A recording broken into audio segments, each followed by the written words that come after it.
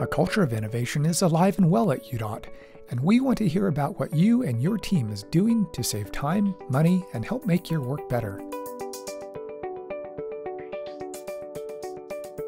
The problem we have is our roads are getting wider, so it's a longer distance for pedestrians to cross the street. So we want to design a bulb out where it shortens that distance between the different sides of the street. The bulb outs create a problem for maintenance. When they plow the road, all of a sudden there's this obstacle in their way.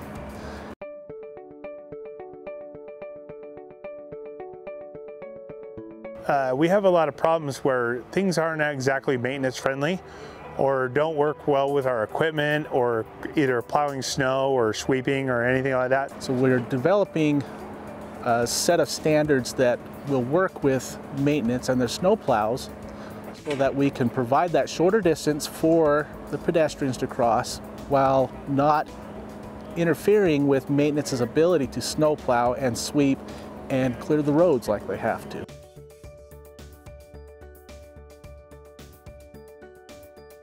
Today we set up some concrete barrier to kind of represent the taper of what would be in advance of these bulb outs.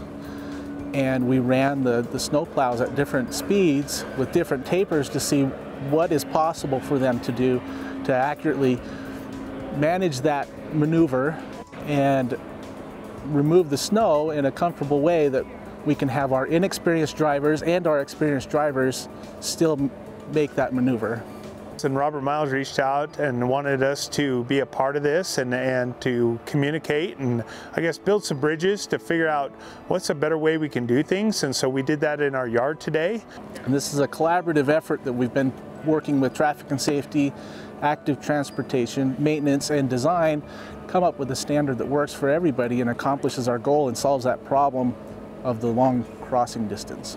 We were trying to explain the different speeds and, and whether with a head plow we'd be going slower and with a wing we'd be going faster.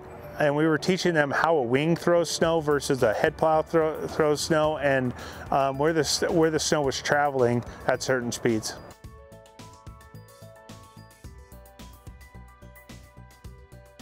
Ran through it and, and, and moved it uh, different angles and, and tried to do the math on it and tried to figure out what was the best way and what's the best approach. And so when we build these type of things, um, they're made with maintenance in mind.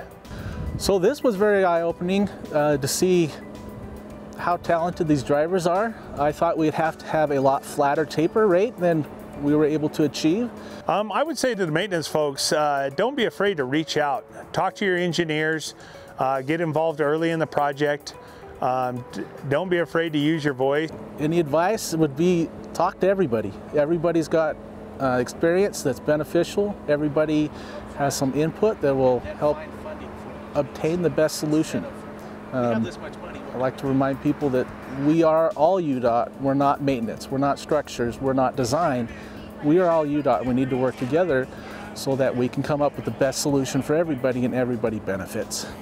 Um, and I think that's what UDOT's all about, uh, uh, using all their people to make uh, a better roadway and uh, better traveling and, and safety for the traveling public.